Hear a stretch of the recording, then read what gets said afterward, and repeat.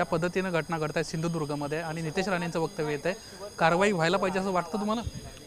काल पूर्ण सभागृहाच्या भावना ह्याच होत्या की कारवाई झाली पाहिजे आणि मला तरी असं वाटतं की त्यांनी विधानसभेचे सदस्य याचा भान ठेवलं पाहिजे.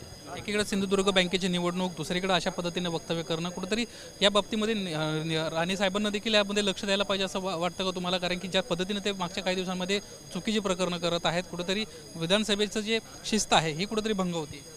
तिथे ही सगळं म्हणजे देवेंद्रजींनी सुद्धा हे कबूल केलं की ज्या गोष्टी घडल्या त्या चुकीच्या आहे. जेव्हा आपल्याच पक्षाचा नेता आपला आमदार चुकीचं वागतो हे मान्य करतोय आता तरी महाराजांनी सुधारावं अशी आमची अपेक्षा आहे. विधानसभा अध्यक्षपदाची निवडणूक आज पार पडते अशा पद्धतीची माहिती मिळते.